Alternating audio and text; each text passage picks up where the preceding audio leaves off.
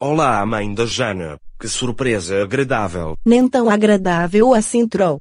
Muito pelo contrário. Como assim, mãe da Jana?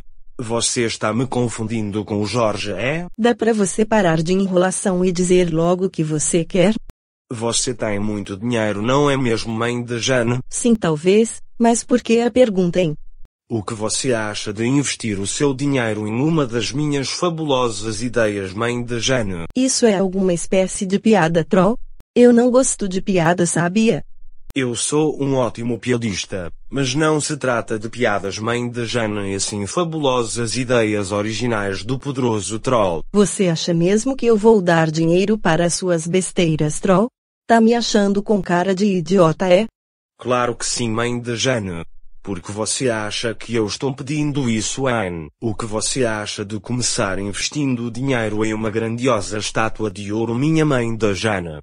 Vai ser bastante útil para atrair turistas para essa cidade de quinta categoria.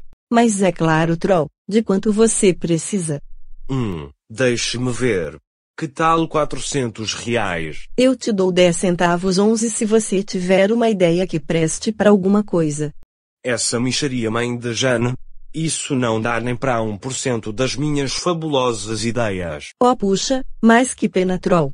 Você pode pedir para o Jorge investir dinheiro nas suas ideias idiotas. O Jorge?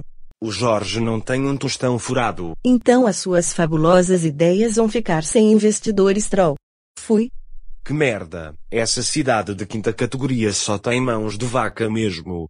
Puta que pariu.